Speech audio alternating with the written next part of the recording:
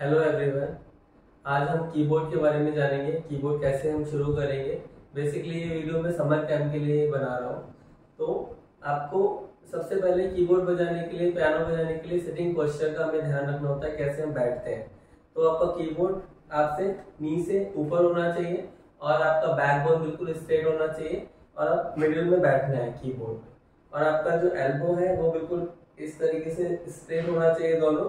और fingers curve position में thumb flat use होता है और फिंगर फिंगर टिप से प्ले होता है।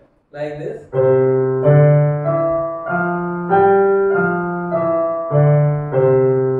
तो अब हम कीबोर्ड के नोट्स के बारे में जानेंगे, किस तरीके से हम इसे प्ले करते हैं। तो सबसे पहले मैं चार्ट दिखाता हूँ आपको। चार्ट में आपका टू और थ्री का ब्लैक नोट्स का कॉम्बिनेशन होता है। इसमें टू वाला जो पेयर होता है उससे जस्ट पहले वाला नोट हमारा सी होता है। तो C D E F G A B तो अभी हम वाइट नोट्स के बारे में बात करेंगे।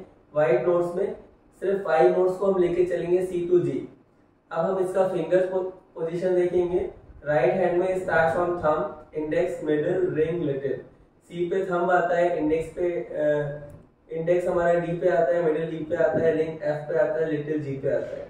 लेफ़्ट हैंड में start from little finger ring middle index thumb तो फिंगर पोजीशन लाइक हमारा फिंगर्स नंबर भी हम ध्यान में रखेंगे। हम हमारा वन होता है। बोथ हम is the one two three and four ring finger and little finger is five तो थैंक यू सो मच इसमें से कुछ भी डाउट होता है कुछ भी आपको प्रॉब्लम होता है तो आप मैसेज कर सकते हैं, पूछ सकते हैं।